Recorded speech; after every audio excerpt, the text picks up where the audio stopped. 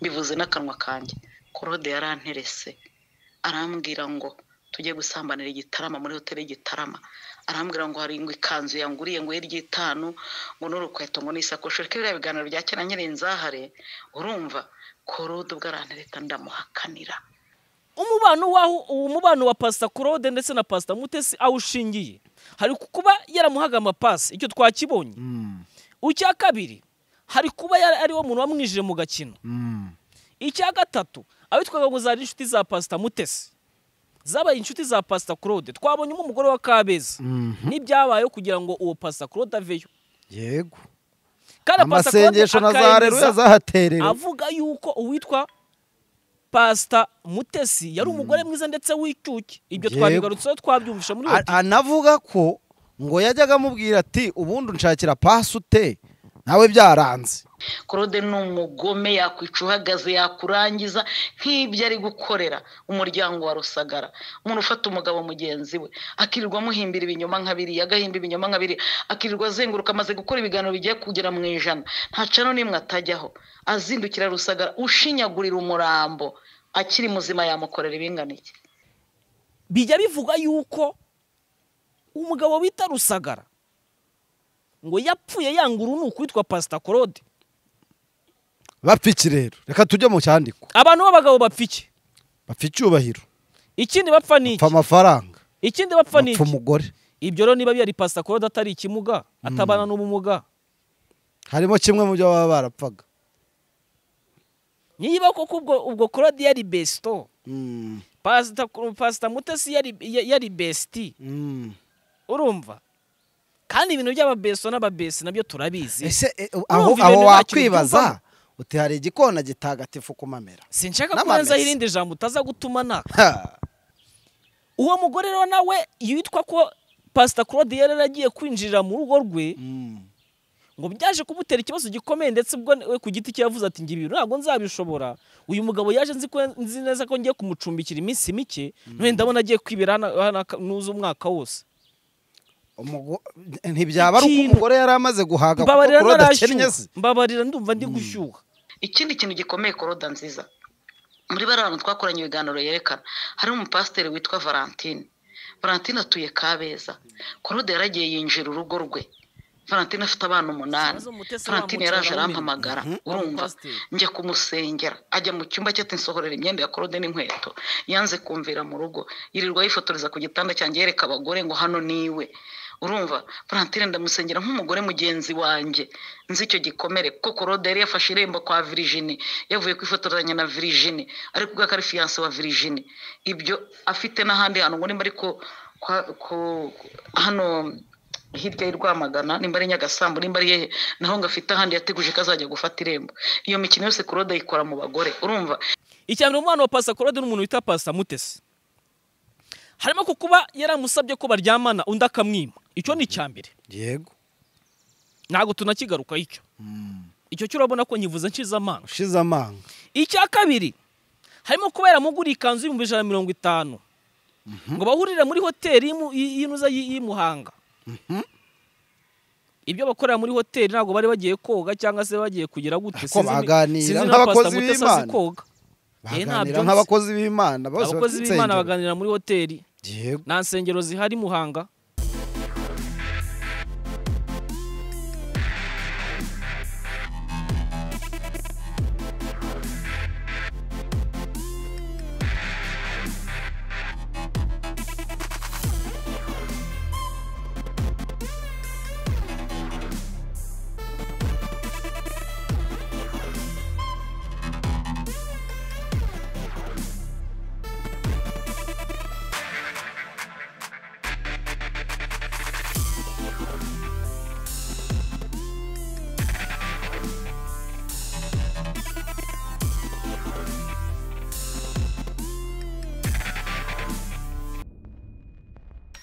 Wahisemo kubana natwe mu buryo ubwo ari bwo bwose. Nkushimire ariko kandi nshimire abanyarwanda muri rusange icyizere mukomeje kutugirira. Imbere kuri kamera kuri sikirini zanyu murabonaho umunyeshuri umunyeshuri wa kasamutwe munyeshuri uraho uraho neza mensiye Eh, keve hanyuma ubu twicaye Uncle hanze hanyuma ubu twicaye hanze turi mu cyitwa icyandikwa. Hano twabaga twicaye ubundi. Twaga twicaye hanze ku mabuye umwe ari hariya undi ari hano undi ari hakurya hariya. Ubwo abantu bize muri ibyo bihe na n'abasuhuze kabisa abantu bagiye biga ku bigo by'amashuri bifite amazina y'imirenge. Mm. uyu munsi turi muri ecole primaire mayisha turi muri mayisha mayisha entertain- mayisha entertainment school. Eh. Ah, eh, urumva ni ishuri ririmo ibintu byose ririmo imyidagaduro. Ewana ririmo imyidagaduro. Ariko uyu munsi icyo ubu ngende mu tugamije myidagaduro. Hari undi uri hari undi kuba uri kwiganuza history Eh, oya na urumva Cyangwa se kubera ko twigisha byinshi bitandukanye. Twigisha amateka twigisha ubumenyi bw'isi. Ariko kandi ibyo byose tukabihuriza mu kwidagadura. Vuga ngo ninjye uzimuka. Sha, biragoye. Ushobora kuzasanga nabonaga abanyeshuri ukuntu bajyaga bajyanwa nk'imbere. Eh, mukavuga ati shajya ibyo byose uko byagenda kose? Ati "Ke- keve burazimuka tazimuka uko byagenda kose. Hanyuma inyuma ya kandi wabibaraga mu gihembwe cya kabiri. Ego yari mu gihembwe cya kabiri. Urumva wabaga bamaze kubona amanota y'igihembwe cya mbere. Ariyo nka mirongo itandatu. Mm. uriya amanota y'igihembwe cya mbere aragora. N'icya kabiri. Noneho icya gatatu baba mwaramaze kujya mu murongo. Noneho amanota yo kwimuka bafataga y'igihembwe cya mbere ay'icya kabiri n'ay'icya gatatu bagateranya akaba ari bwo tuza gukuramo noneho eh, ubwo ni iki- ni ikinyuranyo? Asigaye barateranyaga bakagabanya bagakuba bakagabanya bakubaga gatatu bakagabanya ijana. Sinibuka neza hasigaye rero kabaga kabaye ubwo ngubwo tukavuga tuti muhire yimutse. Uyu munsi rero hari abanyeshuri bamaze kujya muri repesaje Eh. uyu munsi utarimo uyu munsi nifuza ko tuza gusobanurira kubera ko bari muri repesaje kugira ngo turebe ko bazimuka mu gihembwe gikurikiraho nako umwaka utaha ubwo tukava muri P3 tukajya muri P P4 Yego. ubu turi muri P3A ubu turi mu wa muri gatatu E. A. Muri A. yego. Ngewe ugiye gufasha rero kugira ngo umunyeshuri wimutse adusobanurire nitwa ankoke akasongo yihwa i nyarugenge nshimire jado cyane kuri kamera nawe ujye udufasha mu kugira ngo dusobanure. Muhi hanyuma rero uyu munsi bimwe mu bibazo biri muri repesaje eh, ntekereza ko abanyeshuri batasobanukiwe. Harimo harimo n'isomo rya reka turyite isomo rya- ry'amatiku muri gospel. Amatiku muri rwose dufitemo ariko tuze kwibanda kuri shapitire y'uwitwa pasita mutesi umaze iminsi atari mu bihe bye byiza ndetse na pasita claude ukomeje kwigarurira iyi mihanda. Yego. ibyo iyo nkuru na yo yumvishe. Mm.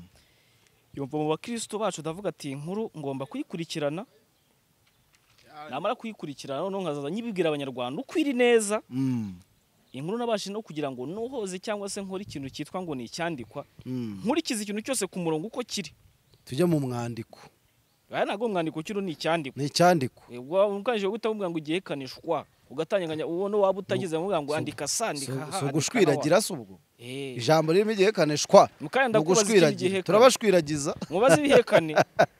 Reka tubanze twinjire mu cyandikwa. Eh. dusabe ubwo mutere amabuye udutafari abafite udutebe batere ufate ikaramu ufate ikayi yawe ya musana. Uyu munsi turi gukoresha ikayi ya nkunda amahoro urayibanyerekera. Yibanyerekera babanze babibone.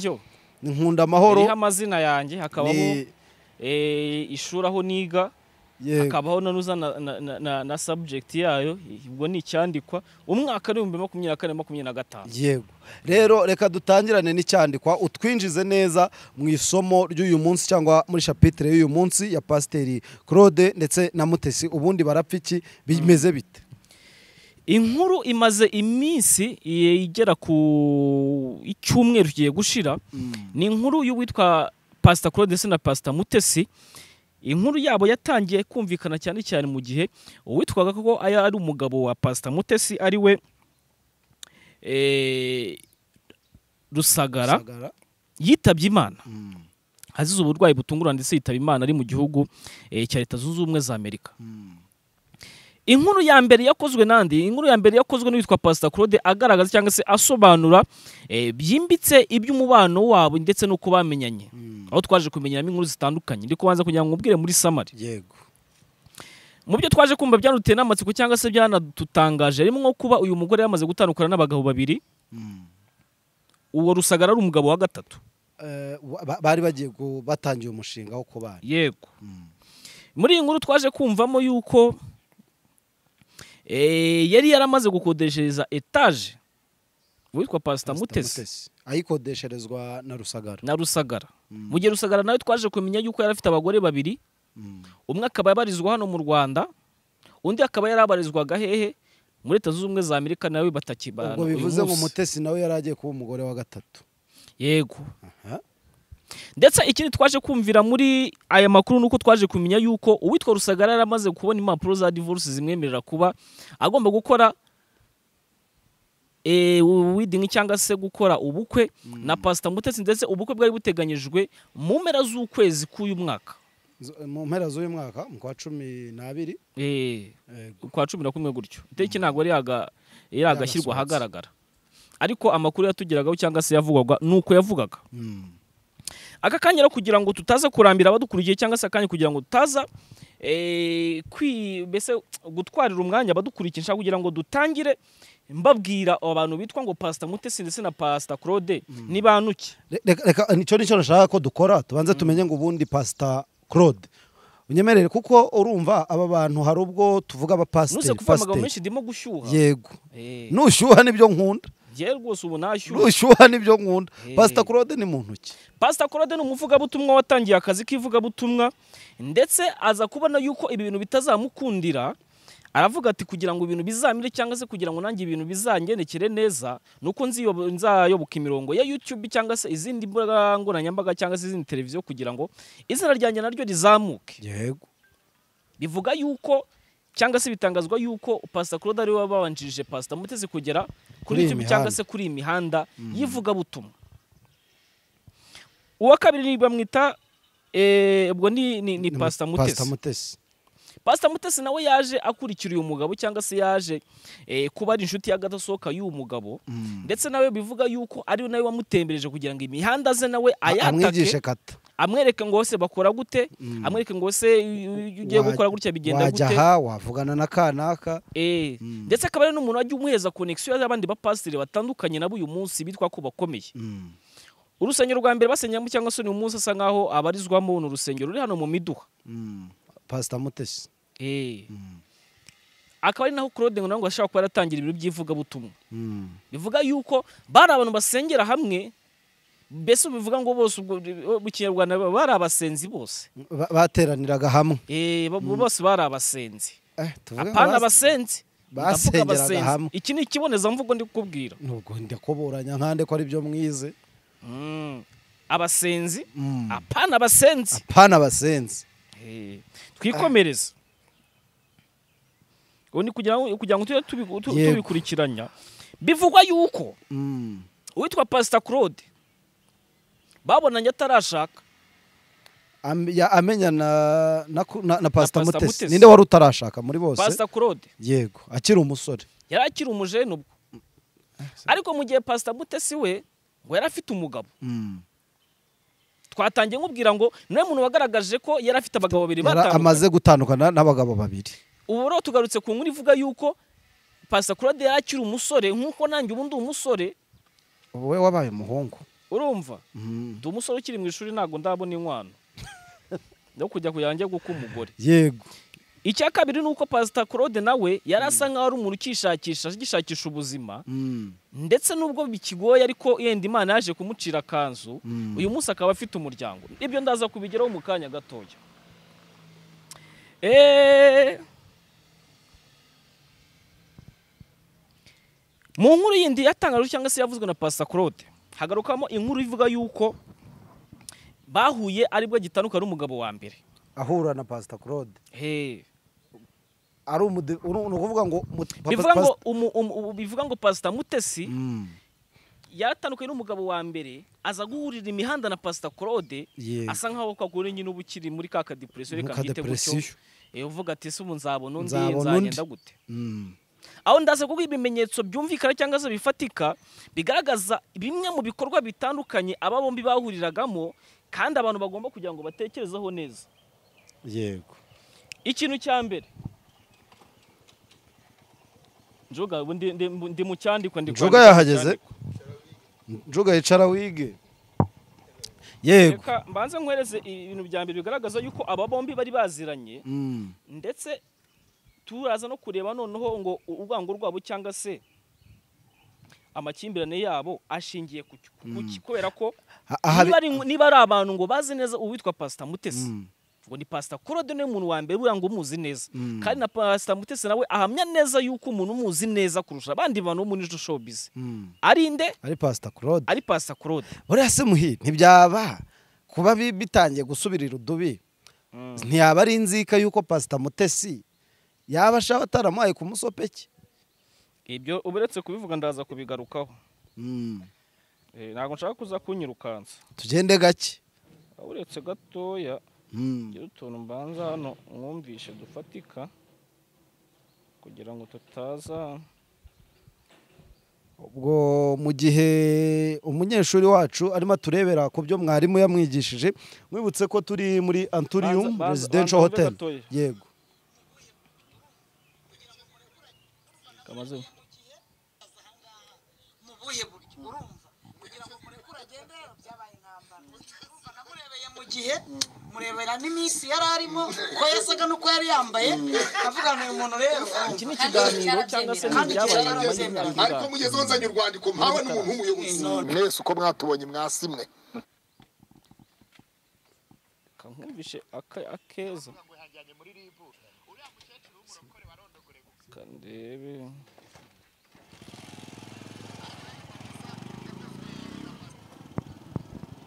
Reka ndebe uno tuntu twose.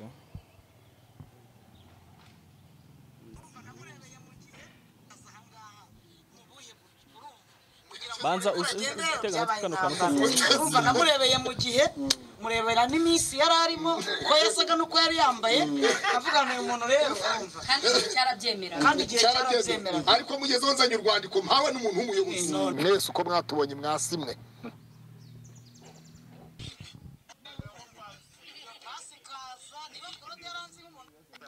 hano nshaka kugira ngo uze kuva ahubwo ndabishaka n'akandi katari kuyobokamana Eh. avuga ibindi bikaze. Ahaha iyo pasi ikaza niba korode yaranze nk'umuntu w'umwiyemezi simbizi yahigaga ngo ufite imitungo ngo ufite amashuri akaba aramunzaniye ariko nyine nababwiye ko urugo ari umukobwa mwiza. Ntabwo ntabwo byavagamo gusa ndagushimiye koro ntabwo wanyituye inabi ndakugira ahubwo u- uzira ikize ahubwo yarangayaga.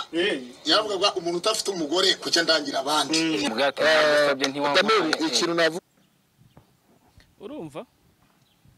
Hano niba wumvishe neza urumva ko ni ikiganiro kigaragaza bimwe mu byo bagiye banyuramo uko aho ari babiri. aho pasita mutesi yivugira ko pasita claude yanamufashaga gushaka abagabo. Yamuhaga icyo bita ngo ni Pass. amapasi Mm. z'abagabo. Ndetse ngo mu bintu yashingiragaho by'abagabo yamugombaga kumuhereza ngo harimo kuba hari umugabo ushobora kuba yarize Mm. ufite imitungo ndetse ufite n'amafaranga. Mm. nshaka kugira ngo kantu ugire ahantu uba ugashyize gato ndakandika. Ndandika nanjye mfite ikaramu Umugabo ufite amafaranga, ndetse wanize. wize Mm. ufite n'imitungo. Reka mbanze nkubaze mbere y'uko dukomeza. Ubundi pasita mutesi wenda we ku bijyanye n'ubushobozi icyo gihe ukurikiranye icyo kiganiro. Yari umuntu uhagaze ati pasita mutesi kino gihe yari umuntu nyine ukiri aho nyine ukinjira muri showbiz cyangwa se muri ibintu byo gusenga.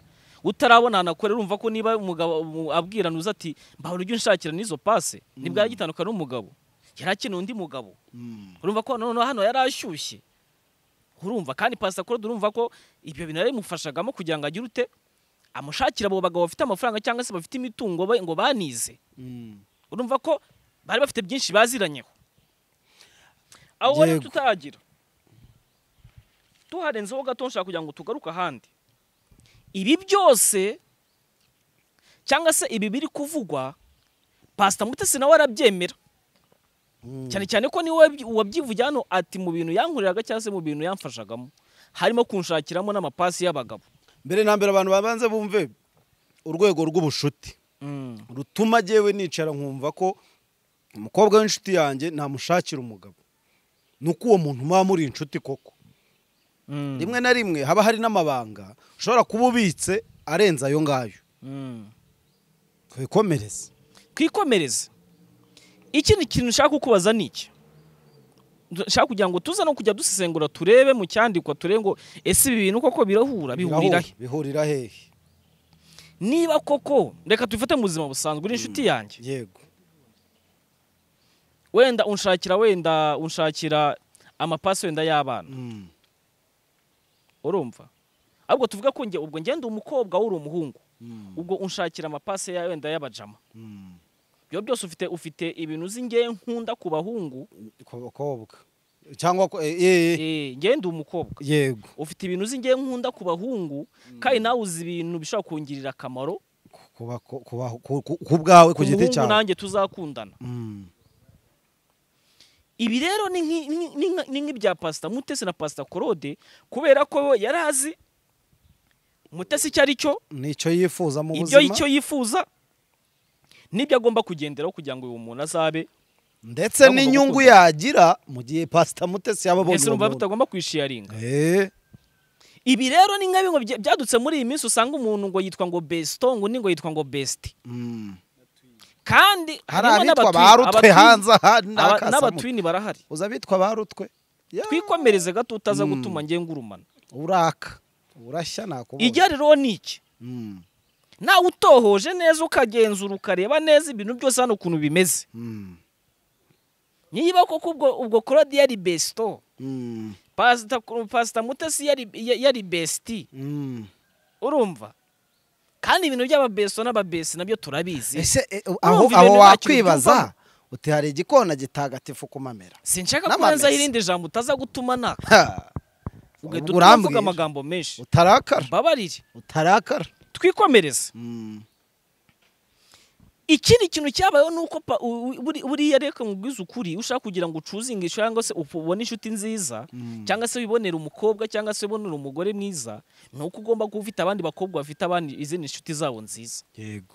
Bigaragara yuko pasita mutesi nawe yagendanaga n'abandi bantu cyangwa se abandi babwirizabutumwa nabo beza kandi ushobora gusanga ariyo suruse yo kuba na yo claude yari kuba yagendaga kugira ngo n'abateretemo agira abo Mm.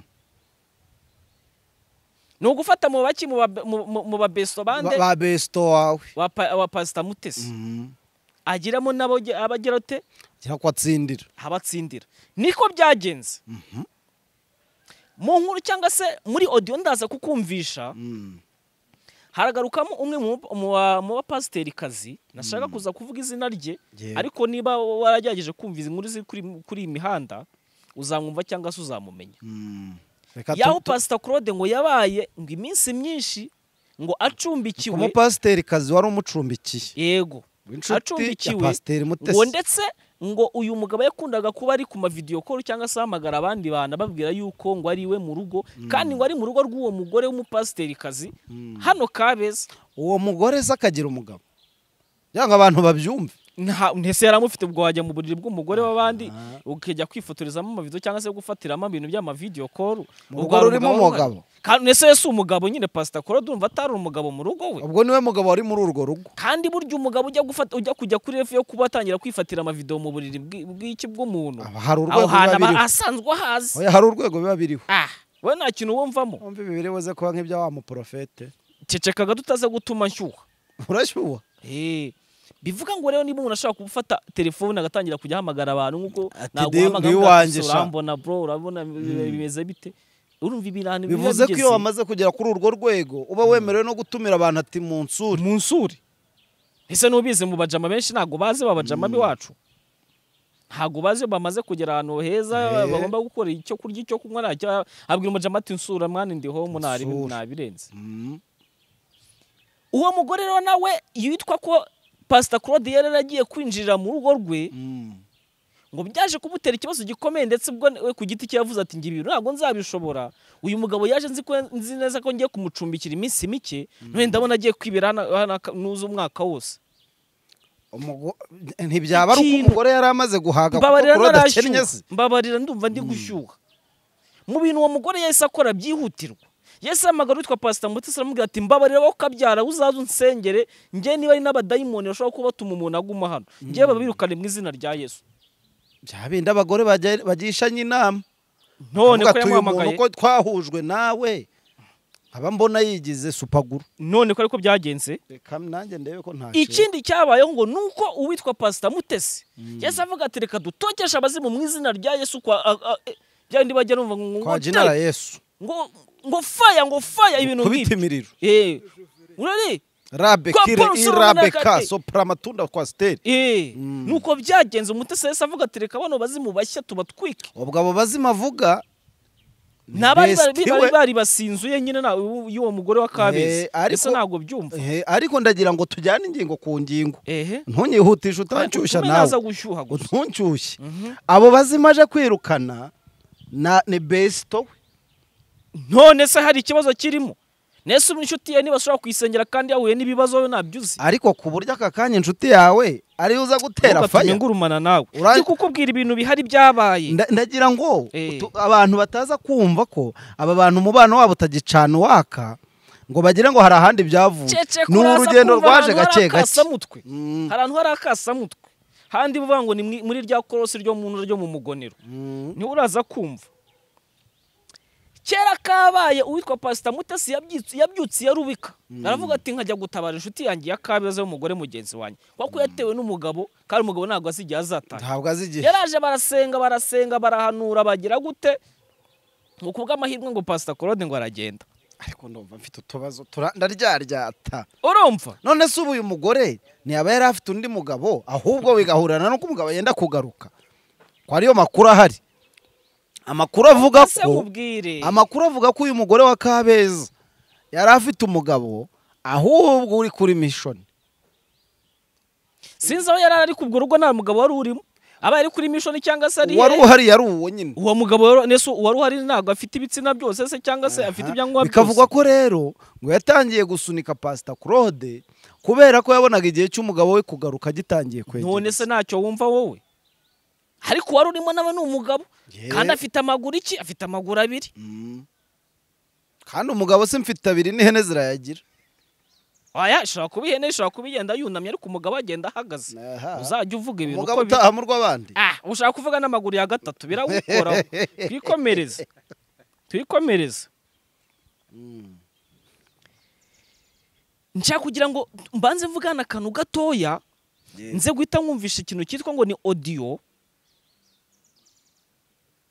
na yo itoroshye wakuye. Nayo itoroshye yavuye. He biragukoraho zana ibintu by'amawodiyo ugenda wihimbira baburetse baburetse gatoya. Nk'uko mvuga kare mvuga ati mu bantu bazi neza ngo bazi mutesi uwo ari we. N'uwitwa pasita claude.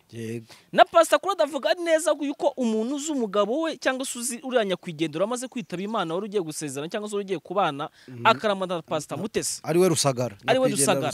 Ngo ni Pastor Claude. Hmm? Eh? bavuga batarya Hmm? bavuga irishira cyangwa iridashira? Iruko ridashira. Aha, imana irimuhe. Irimuhe. Bivuga ngo ibintu byose kano kanya bishingiye kuri pasita claude. Amakuru yose. Baravuga ngo ni ho ruzingiye ingata. Niho ruzingiye.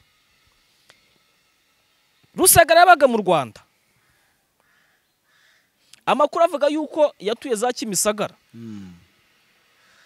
Nyuma yuko eh, agiriwe ubushobozi cyangwa se nyuma y'u- yuko imana imukoreye ibitangaza yanarimbaga ngo muri korali yitwa ngo iki ngo sinibuka neza amazina ni za, kwaya za kera zimeze nk'iz'abatwaramucyo n'abasaruzi baririmbaga neza bari abantu bari abantu imana irakabaha ijuru. mukobwa w'isiyoni. Eh, ihora ihorere. ndumva ihorere. Ariko izo waziririmbiraga yeko kandi izo twaraziririmbye Eh, twararamyaga we. Urumva urumva urumva urumva mwana angoke Mm. icyabayeho ngo nuko amaze kwimuka ageze muri leta zunze ubumwe za amerika. Yego. Nuko ngo yakodeshereje inzu uwitwa pasita mutesi yego. Ngo mu ngendo zitari nke bagiye bagira ngo bivugwa yuko ngo no muri ya minsi pasita mutesi yigeze kwambuka ava mu rwanda ajya hanze. Mm. ngo ntabwo yari agiye kure. Ngo yari agiye muri kenya agiye kubonana n'umugabo we witwa nde? Rusagara. Rusagara. Ayo ni amakuru avugwa ku mihanda. Yego. Ntabwo nyahagazeho. Ariko bivugwa yuko yari agiye kureba uwitwa ababyumva neza twibutsa urugendo yagiriye muri kenya. Hego ni mbere y'uko izi nkuru zabo zijya hanze. Bishoboka ko rusagara divorce yari itaraboneka kuko no mu byabakerereje. Bagicisha ikotana. Bivuga gutya aho ngaho byarimo harimo hari ikintu maguyi bita ko- arya ubu ni- change kotasiyo Eh, niba baje bagasupendingayo almost nka like one one week bikarangira gute? Eh, umwana yumva undi? Hari indirimbo y'igisupusupu nkunda ivuga ngo umwana kumukunda Iyo ndirimbo uzayumvire kuri ukamumenya." YouTube. Eh, twikomereza ibyo ibyo nazanye. Ngo bivuga yuko ngo nubwo uwitwa pasita mutesi yajya- yajyaga muri kenya mu ibanga rikomeye cyangwa se akagaragaza yuko ngo atazagaruka mu rwanda vuba mm. ngo ariko ngo pasita claude nawe yari yaragigiye. Aha. Agigira iki rero? Nawe yaragigiye. Mu kanya turaza guhita tubigarukaho. Mu makuru waba ufite se guhura kwa rusagara na pasita mutesi. Hari ukuboko kwa claude kurimo? Ushaka gutuma ngurumana urashyuha. Kandi aho hantu haraza gutuma ngurumana ntabwo ndahagera. Ngo wumve mvuga amagambo nk'ijana. Mhm. nacecetse. Ubu ndimo gutora kuka gake gake. Mm. umubano waho uwo mubano wa pasita claude ndetse na pasita mutesi aho ushingiye hari kuba yaramuhaga amapasi icyo twakibonye. Mm. icya kabiri hari kuba ari wo muntu wamwinjije mu gakino. Mm. icya gatatu abitwaga ngo zari inshuti za pasita mutesi. Zabaye inshuti za pasita claude. Twabonye nk'umugore wa kabeza. Mhm. n'ibyabayeho kugira ngo uwo pasita claude aveyo. Yego. Kandi amasengesho na za reruya zahaterera avuga yuko uwitwa pasita mutesi yari umugore mwiza ndetse w'icyuki ibyo twabigarutseho twabyumvisha muri anavuga ko ngo yajyaga amubwira ati ubundi unshakira pasi ute? Nawe byaranze. Ibyo twabyumvishe twanabibonye. Icya gatatu ngo ni uko ikintu cyitwa ngo ni gite ngo ikira? Harya kari akantu kajya gatera abantu b'abagabo bakita ngo iki? Ni irari. Eh, irari ngo ryarazamutse rirenga ikigero cya mirongo icyenda na ga- na gatanu ku ijana ngo rituma uwitwa pasita claude ngo abona ko mutesi ko kari mwiza kandi ari ikizungerezi. ngo kandi icyo gihe ndi kukubwira inkuru ishobora kuba yarabayeho ngo kandi icyo gihe ni bwo yari amaze kubona pasi witwa nde? Rusagara. Kandi rusagara yari umugabo ukungahaye ku ki? Ku ku bukungu. Ameze neza. Bw'iki? K'amafaranga n'iki? N'ubuso n'amashuri. N'iki? Agize n'amahirwe agiye hanze. Bivuga yuko pasita butese we yari akeneye nde? Rusagara ufite iki? byose yari akeneye. Birimo amafaranga birimo amashuri. Yewe birimo na viza none uwo mugabo we wamwitesha. Ugasanga korode ufite wambaye kamambiri. None biragoye korode yakumarira iki? Mwasangira ibishyimbo hoya. Etaje y'ibihumbi magana atanu yamukodesherezaga korode icyo yayimwishyurira. Kiragoye. Pasita korode yari kuyimwishyurira. Biragoye. Tuza agatoro wumva kandi barimo icyandikwa. bamusohora mu nzu yaho Tuza yinjiye. agatoro wumva icyandikwa. Mm. reka twumve icyandiko reka mubwire akantu abantu batari bazi. Mm. Mu nkuru zibabaje cyangwa se zishobora kuba zarateye benshi agahinda Mm. harimo nko kuba uyu mugabo witwa Rusagara. rusagara Mm. igihe njya mwitiranya n'uriya nazi uwo ari we nazi Umunyamafuti. n'ibyo akora Mm. bijya bivuga yuko umugabo bita rusagara ngo yapfuye yanga urunuka witwa pasita claude bapfa iki rero reka tujye mu cyandiko abantu b'abagabo bapfa iki bapfa icyubahiro ikindi bapfa ni iki amafaranga ikindi bapfa ni iki? umugore. Ibyo rero niba byari pasita claude atari ikimuga atabana n'ubumuga. Harimo kimwe mu byo baba barapfaga. Ubwo hari icyo bapfaga muri ibyo? Amafaranga pasita claude yarayabonye. Numbaze ntabwo nzayatunze. Ariko nta gisaba umunyu uko namubonye. Ntabwo nshaka kubimenya. Ikindi icyubahiro ni iki? bapfa amafaranga. Ni amafaranga n'umugore. Umugore. ubwo rero muri ibyo bintu hagati Mm. harimo- icyo bombi bapfuye. Kandi ngo cyashenguye n'umugabo cyane rusagara. Rusagara ku buryo ngo yitabye imana. Abonye nko abonye nka ba banuza ba ba bapfumu bo muri Nigeria cyangwa se bamwe bo muri bo muri bo muri nuza na. Tanzania. Wano ngo ngo inkuba imvura igwa. Mm. ngo yamukubitisha inkuba nk'imvura igwa. Bayita dawa ya Mana yanjye. kumuwuwa. Dawa ya ki? Ya kumuwuwa. Yakumuwuwa yamuwuwagura rero. Eh. ndakubwiza ukuri Urumva ngaho nibereye. Hari n'amakuru njye mba navanye imihanda nyumva nicaye mu ishuri. Ku idirishya? mu bakirisitu. Njye ngicara hafi y'idirishya. Mm. eh uciyeho wese avuga inkuru mba nyumva. Mu matwi. Mba nyumva. Abamwe basakuriza mu ishuri njye simba mbitaye njye numva inkuru. Ibi ni akasamutwe. Urumva? Yego. Umubano wabo wari ushingiye ku ki? Uwa pasita claude na mutesi. Reka ndetse eh, sinze kukumvisha aya majwi nonaha. Mbanze ngusobanurire ikintu cyitwa icyandiko. Zana nyigufasha akira. Ubu ngiye kugusomera icyandiko. Umubano wa bano babiri ba- wari ushingiye ku ki? Ngiye kubanza tubanze dukore ikintu cyitwa icyandikwa. Nitumara gusoma icyandikwa tuze gukosora. Dutanga amanota. Dutange amanota tunumve n'abasibira koko niba ari byo tunumve koko niba ari byo icya mbere umwana wa pasa korode n'umuntu wita pasa mutesi harimo ko kuba yaramusabye ko baryamana undi akamwima. Icyo ni icya mbere? Yego. Ntabwo tunakigarukaho icyo. Icyo cyo urabona ko nyivuze nshize amanga. Ushize amanga. Icya kabiri harimo kuba yaramuguriye ikanzu y'ibihumbi ijana na mirongo itanu. Ngo bahurire muri hoteli y'imu- y'i- y'inuza y'i y'i Muhanga ibyo bakorera muri hoteli ntabwo bari bagiye koga cyangwa se bagiye kugira gute. Sinzi ni- baganira sinzi niba nk'abakozi Pastor Mutesi b'Imana. azi koga. Eh, baganira nk'abakozi b'imana. Abakozi b'imana baganira muri hoteli. Nta nsengero zihari Muhanga. Bakajya mu cyumba cy'amasengesho. Icyumba cy'amasengesho kiba kirimo ntabwo bakwicara ku ntebe nta ntebe urusengero zigira. Cyangwa abantu bazafata intebe zose zo mu rusengero bajye bazikuramo abantu bajye bicara ku mikeka. Ko nako karagoye. Yagomba kumusanga ahitwa ngo ni muhanga muri hoteli yamugura ikanzu y'ibihumbi ijana na mirongo itanu. Icyo ni kimwe nuze no kongera kukimbazaho sinkagaruka uragisubiramo? Ntabwo nyisubiramo urasubiramo? Icya gatatu ngo ni uko aba bombi barakundaga ngo guherekezanya. Bivuga yuko ngo bigeze kujyana mu gihugu cya hehe cya Tan- Tanzania Tanzania Kenya. Tanzania. Tanzania. Bagiye mu murimo w'iki w'ivugabutumwa icyo gihe banakoze igitaramo cyarimo uwitwa roza muhando. Bivugwa yuko uwitwa pasita claude ngo yaherekeje nde? Pasita Mutesi. bagiye hehe? Tanzania. Mu giterane mu giterane cya roza muhando. Humva bose si banaraye nyine ubwo baragiye bahita bataha. Tanzania ntabwo wagenda ngo ibyo tubireke reka tubireke. Ntabwo tunabyitayeho. Bivugwa yuko uwitwa rusesa eh, nanjye ngo Rus- Rusagara. n'uwitwa pasita mutesi oya n'uwitwa pasita claude. Bivugwa yuko aba bombi bashobora kuba barapfuye umugore. Icyo gihe bajya tanzania se? Cyangwa no mu buzima naguhaye busanzwe? hejuru naguhaye ingero zifatika z'ibintu bitandukanye aba bombi bashobora kuba bapfa. Yego. Ariko muri ibyo ngibyo uravuze uti birashoboka ko?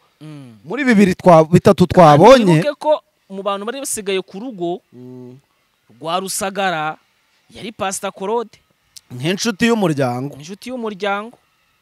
Kandi umuntu wari uri hanze y'igihugu yari rusagara.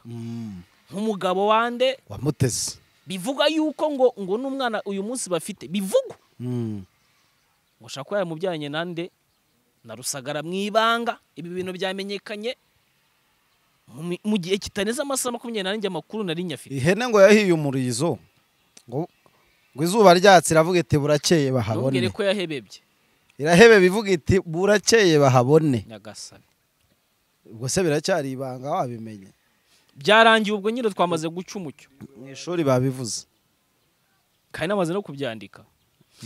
Icya kabiri ubwo urumva ko niba badapfuye amafaranga cyangwa se niba bapfuye umugore ubwo ushobora guhita utekereza ukavuga ati biravugwa yuko ubwo nyine ubwo bari abenda hamwe rero kubera ko niba umugore ku giti cye yaratangaje akavuga ati njyewe ubwanjye yaransabye ndamwima. Undi nawe ntabihakana akavuga ati nyamara pasita mutesi yari ikizungereza ntunshyushye. Ntunshyushye. Urumva. Ntanshyushya muhire student how are you? Niba koko yaransabye nkamwima Mhm. akambwira ko tugomba guhurira muri hoteli. Akishyura ikanzu y'ibihumbi ijana na mirongo akishyura itanu. ikanzu ngo ni kado yanzaniye. Simbyemere. Mhm. uwo muntu murumva anyeneyeho hari icyiza yanyifuriza. cyangwa se urumva ata- uyu munsi atarimo kugira ngo ansebye nk'umuntu ushobora kuba unzi neza kandi uyu muntu tumaranye igihe tuziranye. Ibyo rwose tubivuze. Neza neza gatoya mbanze mwumvishe ikintu nka cyitwa- data. Ikintu cyitwa amajwi. Mwihangane aya majwi. Turaza turaza kuyagira. Baraza kuyadushyiriramo neza n'abatumvikana. Ariko ndakeka ko jado ku buhanga bw'ibyuma aba abirimo. Turi muri anturium residential hotel ni hoteli iherereye hano i nyamirambo ku mumena. Ahantu heza rwose ukwiye kuba usohokera n'inshuti ndetse n'abavandimwe. Ubaye ufite umukunzi ni ahantu heza ho kwicara mukaganira.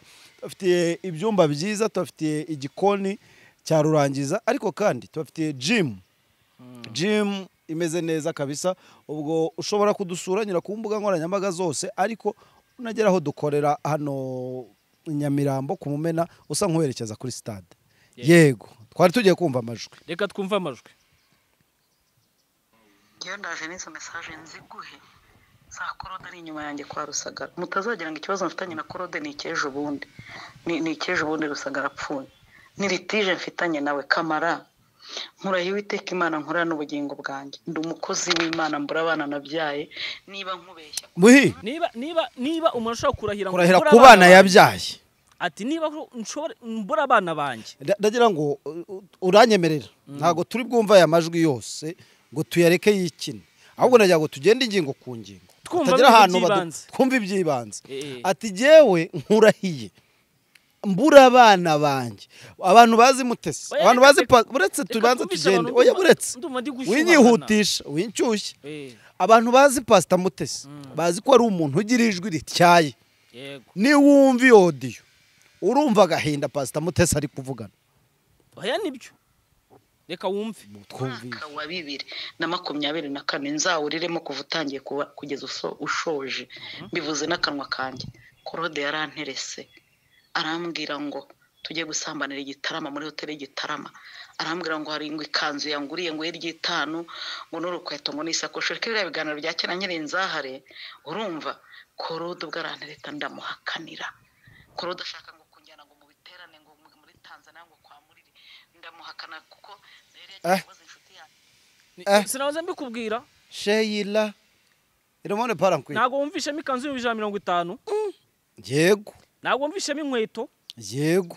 Nta sakoshi naho utwo rero turetsemo utuntu na duciriritse ku mugore. Hoteli na hoteli y'igitaramo.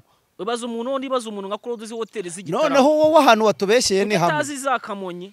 Ahantu watubeshyeye ni hamwe. Kuki atazi za musanze? Ngo ngo yagiraga ngo bahure. Mutesi w'ubwo areruye. Ngo ashaka ko tugira gute? Turyamana. dusambana. Ntabwo ari ukuryamana ntukatubeshye ni ugusambana nta kinyabupfura kuryamana ze pasiteri umurusha ku- kuba umukozi w'imana. Ariko ubundi umuntu asambana n'undi bapfa iki umuntu akifata agasambana n'undi. Twikomere ese sheyila n'ikino abantu basambana bapfa? Yibwira ngo umutesi se bizavamo. Ndaramubwira ati ijambo rizavamo ariko ibyo mushaka by'ubusambanyi nta bizavamo kamara mureke ku- kuba nk'umuntu muri inyuma ya korode mwe mutazi icyo nzira. Icyo ndakikubwiye kandi naragicecetse. Urumva? Naragicecetse ndamweho ariko do. Niba mbeshya imana ntizigere yemera ko amarira ava ku maso yanjye muri bibiri na makumyabiri na kane.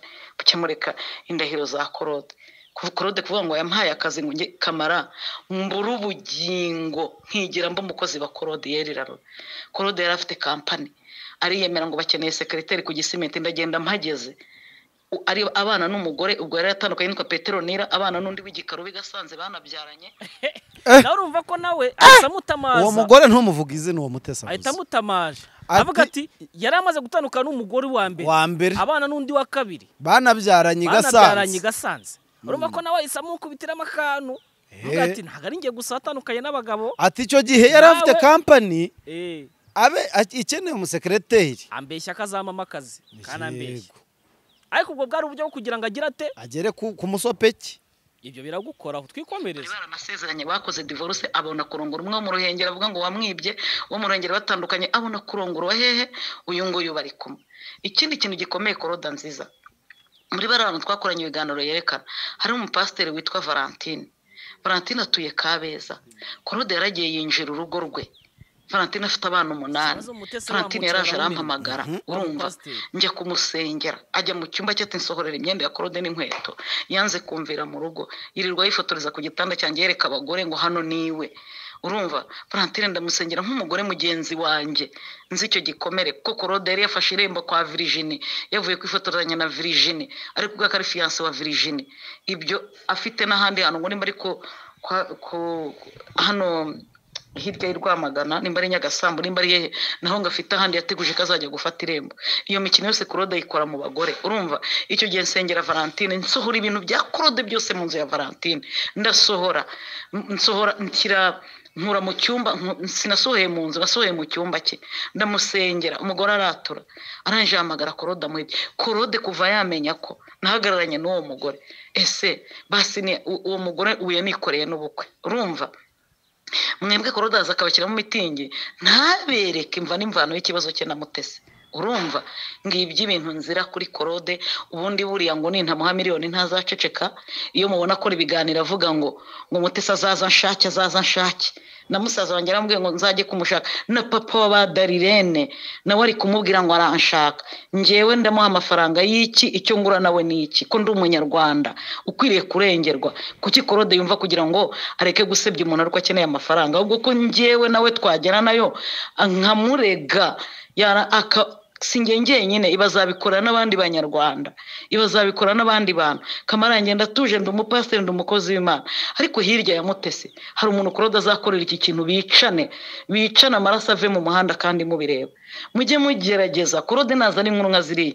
Muzitoze neza mujye ku muntu ari kuvuga mumubaze icyo yaba apfa nawe uwo ni we korode na mutesi. Umugabo wese ugusabye ukamwima habamo litije n'ibyo bintu by'ibinyanga yakoraga nkagenda ngasengera uwo mugore w'imana yamwihereye n'umugabo arira ambwira ati wansengeye imana ikankurira uyu mugabo waje mu rugo. Urumva? Nibyo uwo ni we korode. Korode nyuma yaho.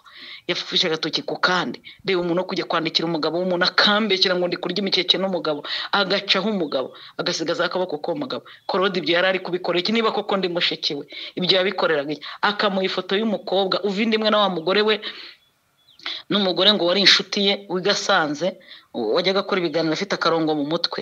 Uwo mukobwa na kamana wo ku rugendo tivaramuzi urumva? Korode mwe muvuga korode muzi ubugome bwa korode mwebwe? Harya ngo wavuga ngo ni ntase fpr korode yicara imbere yanjye akitaba yesi generali mubaraka kandi nacunga agasanga ari kuvugana na papa bitangaza. Urumva ni umuntu uza kukumbeshya ni umuntu wicara Ase, ibi- ibintu ntibihari ushaka kumva ibindi birenze kuri ibi? Eh. Twe Eh. twe tugeze ku yindi ku yindi topic itatureba idahwanye n'ibyo njye nkora. Raymond Parankwira aujourd'hui. C'est so grave. Eh. Wumvishe amagambo arimo ako- akomeye. Ubu se? Hari amagambo ajya avuga mu rukiko ngo akomeye. Ngo aya magambo akomeye. ni amagambo akomeye pe. Mu byo twumvishe ibyaturebaga.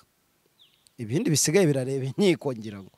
Ariko ibyaturebaga nongere mfate ikayi nkomerezeho subiza mu cyandiko. Subiza mu cyandiko. Fasha telefone. Ngaruke mu ikayi aba bantu ntabwo bapfa ubusa. Baraziranye. Aba bantu baraziranye.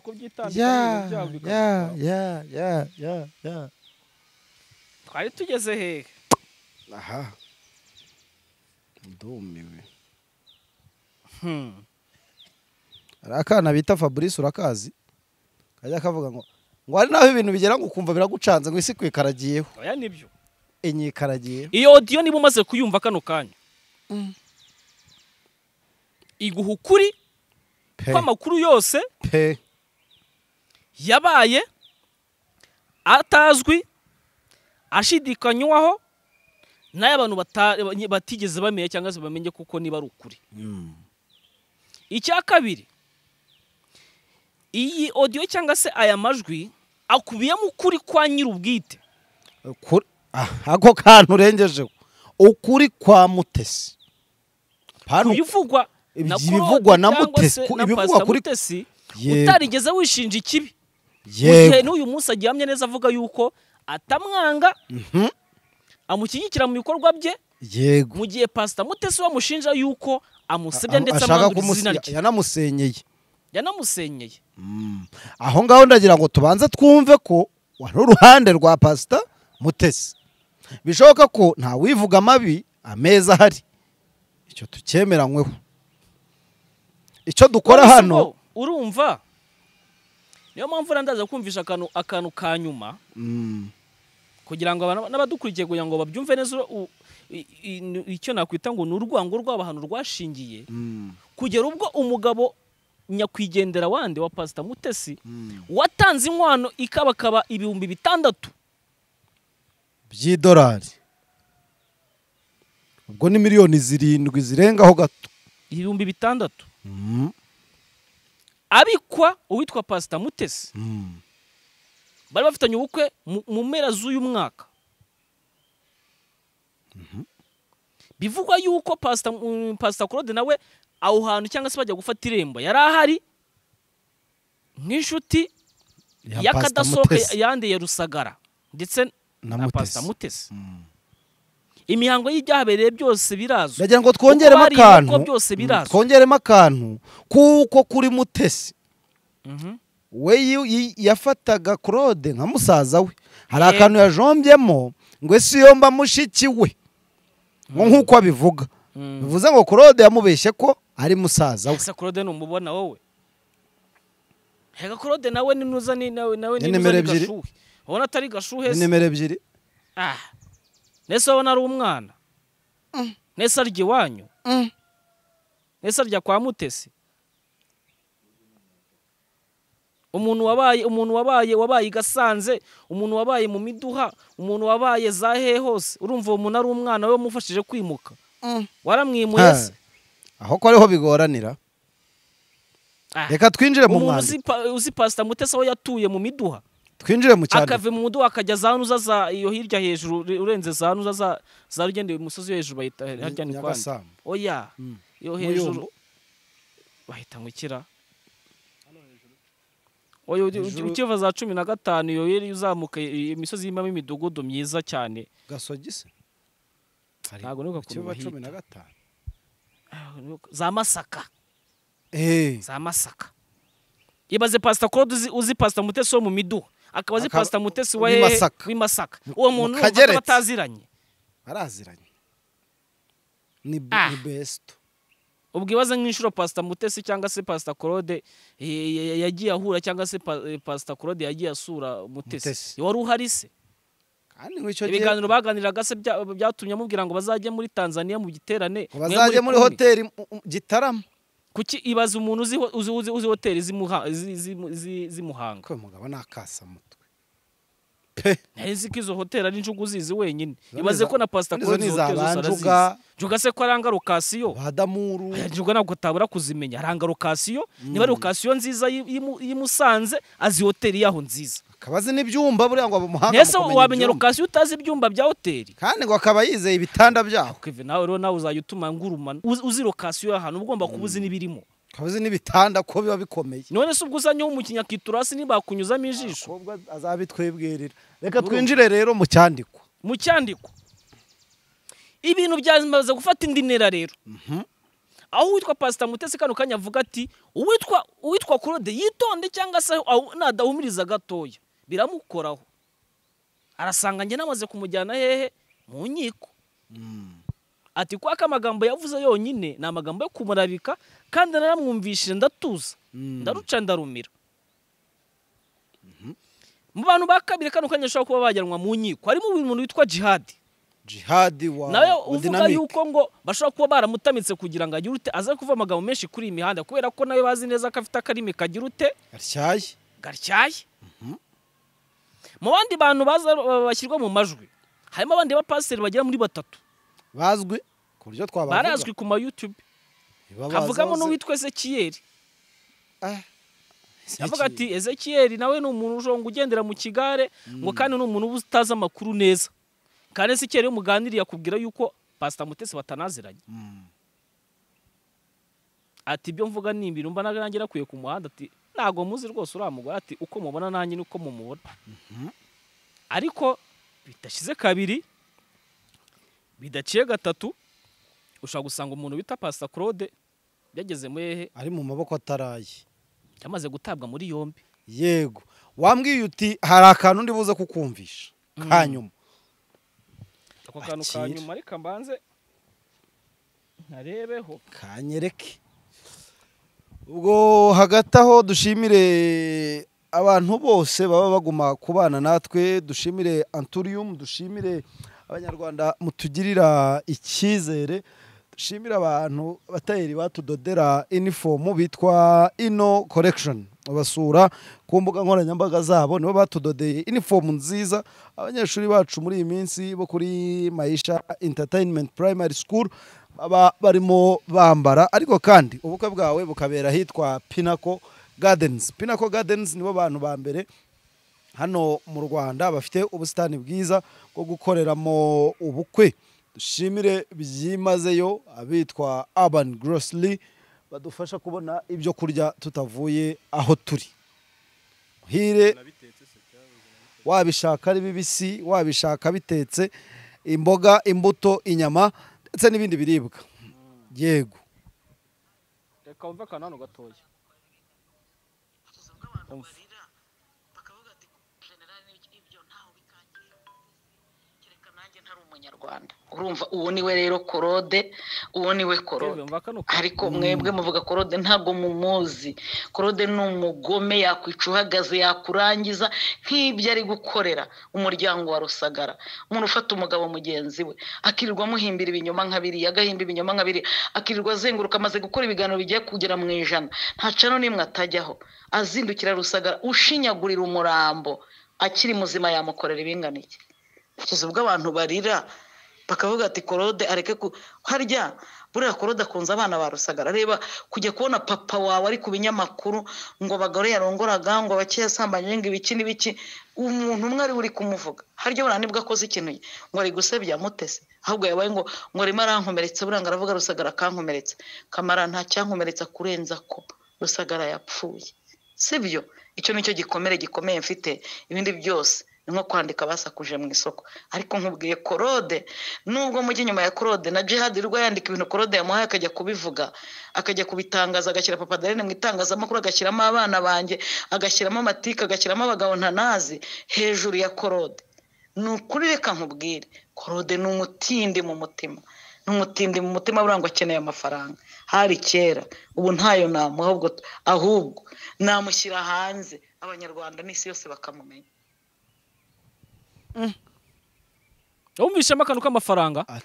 Reka tube turetse kugera ku mafaranga. Kandi koko ati umuntu urimo uvuga aya magambo ku muntu wapfuye yaba muzima.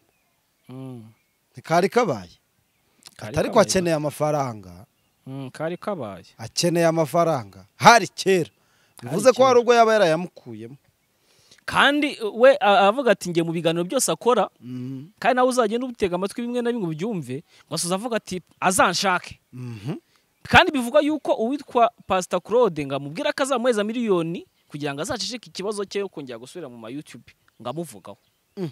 ngo kubera ko na mbere ngo yabyaga bibaho ngo pasita Mu- mutese ngo agakomakoma agakomakoma avuga ati reka reka kujyaho reka kujyaho mwana wanjye. Ngo ubwo nuza agahita atuza dore ngo yituriye hano hirya za nuza za nyamata nyamata Eh. niyo makuru mfite nyamata hafi rwose ukirenga ku muhanda uzamuka ku rwibutso Mm. imbere aho bita bahita bahita muri muri kariyeri atuye kariyeri atuye kariyeri yego Urumva ko amakuru mba muhi ubwo ibyo bintu Mm. reka wenda tu- tu- tu- turimo tu- turagana noneho ku gutanga amanota Mm. mu kanya turagira abo dusibiza Mhm. nkibaza ibyo bintu byo ntabwo bigize icyaha ibi se Mm. ntabwo ndi umunyamategeko cyane Mhm. cyangwa se ngo njye kubyijandikamo cyane njye mba Mhm. nkubwira ibintu nshaka kuba numviye mu idirishya ryanjye ryo ku ishuri Mhm. dore ko ubu nicaye imbere wanjye mba nicaye ku ntebe ya kane muzi imbere Eh, intebe ya mbere yicaraho umwana uzaba uwa mbere Mhm. kandi njye namaze kubaharira mvuga ati ubu uzaba uwa mbere ariko nanjye twimukane nari Mhm. Nuko njye mba nicaye kumva nicaye hafi y'idirishya. Yego. Numva amajwi numva abantu icyo bavuga bose mba mbatega amatwi mba niturije. Aka kanya rero tunaza no kugana ku musozo. Mm. uwitwa pasita claude ngo arya ari menge umunyarwanda turoga mpagaze amazi si yayandi ati inzego zibishinzwe cyangwa se inzego zi- zi- zigomba kubikurikirana ati na zo zi- ziri gushakisha ibimenyetso. Ati kandi burya si arongera ati umuntu witwa jihadi ati nawe urya uri menge kuko ibyo bintu bagushuka kugira ngo uvuge ngo ukagira ngo ni inkuru nziza bagwaye zo kuvuga. Ati baragushuka. Mm. ngo ntibakagushuka wa mugani wa ya ndirimbo ya Knowless. Hari n'uwitwa karasira uvuga ngo ntizagushuke iyi mihanda. isi njye ndavuga iyi mihanda. Sawa rero. Ubwo rero aka kanya Mhm. twamaze kumva verisiyo yande? Ya mutesi ya mutesi n'iya kurode iza kode zo turazizi. Dusanzwe tuzi. Bivuga ngo rero kano kanya reka dutegerezeho turebe iki kintu kigiye gukurikiraho ahubwo uze kuma akanya. Njye kumesa kano gashati kanjye ku wa mbere uzindukire mu ishuri. Ese nye yongeye kwishyiraho? Ejo uziga igitondo. Namaze kubona amafaranga eh? Ejo uziga igitondo cyangwa ni ikigoroba? Oya ntabwo nziga igitondo nziga ikigoroba ejo. Eh inkuru nziza burya ziba ziri nimugoroba abantu bamaze kurya. Nibwo batangira kuvuga inkuru nziza mu gitondo abantu baba barakaye. Mm. Eh, saa za saa sita z'amanywa saa munani. Mm. ni bwo burya tuba tumaze kurya ku ishuri. Aha. Abantu bari kujya bavuga inkuru nziza gusa. Ubu se dutanga amanota cyangwa tuzayatangire rimwe aya manota ntabwo twese twe turi abarimu. Aya Amasomo masomo arakomeje. ese ntabwo ubona ko shapitire hano tubaye hari ahantu tuyigarukirije? Mhm. hano ubu ndashyiraho akantu kitwa inuza. Akabago. Ndaba nshyizeho akantu k'akabago mvuge ngo tuzagaruka dukomereza Mm. ubu hano hantu rero ngarutse ku kintu kivuga ngo ese jihad arabivugaho iki? Jihad yavuzeho amagambo asa nkaho atagize ata- atari meza.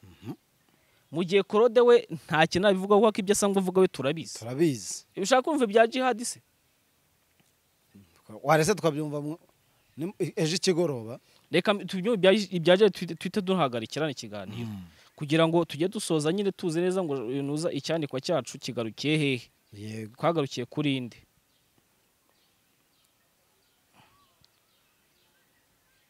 Kanze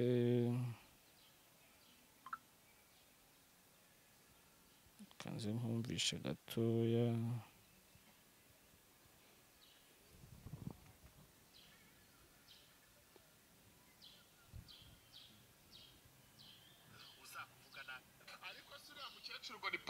ngo ni pasita mutesi. Ko numvise bavuga ngo yahajyanye muri ribu uriya mukecuru w'umurokore warondogoreye ku gatuti. Ni njye wamubwiye ngo ajye yiyanika ku karubanda. Njyewe ko mvuga ibyavuzwe nashingukeho ese ubundi arabona gutwarayo korode wamuterese akaza gutwarayo jihadi. Genda namuterese genda nteretana n'abakecuru. Shishishishi sinteretana nateretana sinateretana n'umukecuru nk'uriya. Ubwo rero nakomeze yoto ahubwo yakoze kutwihera amakuru. ngo korode yaraguterese se mukecuru kandi ubwo wajyaga wasanga ariko jihadi ngo uteretwa kohereza ngo utegerezwa ko hiba iyi bategerezwa kohereza wi yes pomoma bategereza kohereza n'inyawe wa aho se ntihaca impaka saa sita zirageze komanda agiye kurya. Ubu dushatse twasoreza. Reka dusoreze aho. Nta mwanzuro w'ibintu dufashe ariko abagomba kumva bumvishe. Abumva bumve. Icyo abanyarwanda tugomba kubaheza na cyo bacyumvishe. Cawo cawo